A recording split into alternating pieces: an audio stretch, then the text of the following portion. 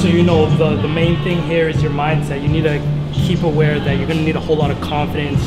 Um, you're gonna need a whole lot of faith and belief in yourself.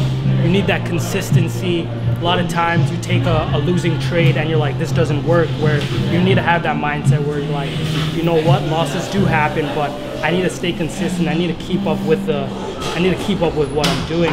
And then on top of that, you need the the the casino's mindset to say like, yeah, I can lose I can lose all today, but I know by the end of the week, by the end of the month, I'll still be in profit, um, and that's just how that goes. You need to have that right, mindset. Right. And adding on to that mindset, I think risk management is very very important. Um, I believe you should only be risking 30 or 50 pips per trade, and especially you should be looking at uh, calculating the 2% or 3% of your account.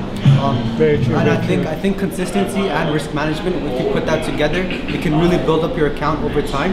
And I think a lot of people overlook risk management and they want to make money quick, but risk management mindset is by far I think.